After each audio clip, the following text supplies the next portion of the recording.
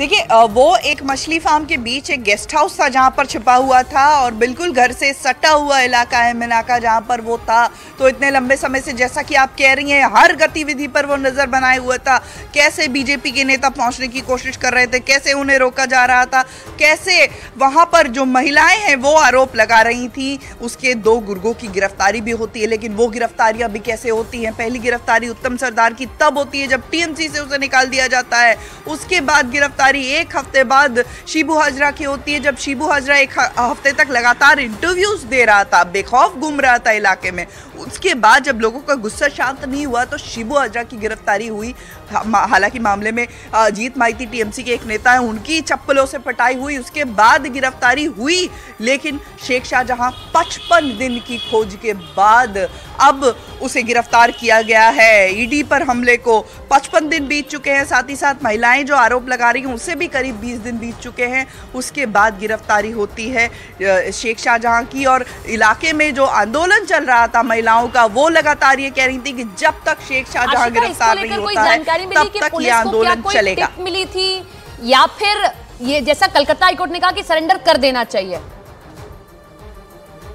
हमारे साथ में बीजेपी के अध्यक्ष जुड़ गए हैं बंगाल के सुकांतु मजुमदार उनके साथ में हम बात कर लेते हैं। सुकांत जी आखिरकार गिरफ्तारी हो गई आप लोग प्रदर्शन कर रहे थे लेकिन अब देख रहे हैं कि कार्रवाई उचित होगी या नहीं होगी क्योंकि ये तो सिर्फ़ 25 किलोमीटर दूर बैठा था आप लोग प्रदर्शन कर रहे हैं वो भी ये टीवी पर देख रहा होगा। देखिए मैं पहले से ही बोल रहा था कि पुलिस जानती है कहाँ पे शेख शाहजहां छुपा हुआ है कहाँ रह रहा है क्या कर रहा है पूरी उनको मालूम है।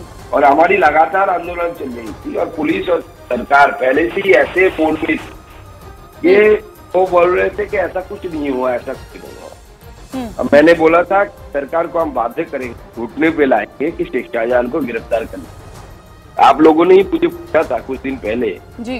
कि जब मैं संदेश खाली जाने की कोशिश किया था और मुझे अल्टीमेटली जब मैं गया था वहाँ संदेश खाली पहुँचा था कि कितने दिन पर शाहजहां क्या आपको लगता है इतने बाद क्या शाहजहां गिरफ़्तार होगा? तो हमने बोला था कि हम सरकार को बाध्य कर। हमारी कल से धरना चल रही आज आखिरी दिन है धरने का। तो हमारी ये लगातार आंदोलन के साथ संदेश कली की माता की बहनों की जो लगातार आंदोलन रहा इसके कारण सरकार बाध्य हुई है शेख शाहजहां को गिरफ़्तार करने के लिए। नहीं नहीं ये बात तो हो गई सुकांत जी गिरफ्तारी हो गई अच्छी बात है लेकिन अगर आप पुलिस की कार्यशैली पर सवाल खड़े कर रहे हैं तो क्या आपको लगता है कि अब इसे अगर कस्टडी में ले लिया जाएगा तो ज़्यादा दिन की रिमांड मांगी जाएगी पूछताछ की जाए कि आखिर किसका संरक्षण मिला था इतने दिनों तक ये छुपा रहा इतनी पास बैठकर भी? कोई शक? देखिए देखिए पुलिस तो कोशिश करेगी हर तरीके से कि शेख शाहजहां को रिहा कर दिया जाए बरी कर दिया जाए। लेकिन हमारी जेपी की पूरी नज़र इस घटना पे घटेगी और सरकार या पुलिस रहेगी नज़र इस घटना पर किसी भी तरीके से शाहजहां को बचाने की कोशिश करती है तो फिर से हम आंदोलन जी। बहुत बहुत शुक्रिया जुड़ने के लिए और बातचीत करने के लिए। तो आखिरकार टीएमसी नेता शाहजहां शेख की गिरफ्तारी मिनाखा इलाके से हुई जो कि संदेश खाली से महज 25 किलोमीटर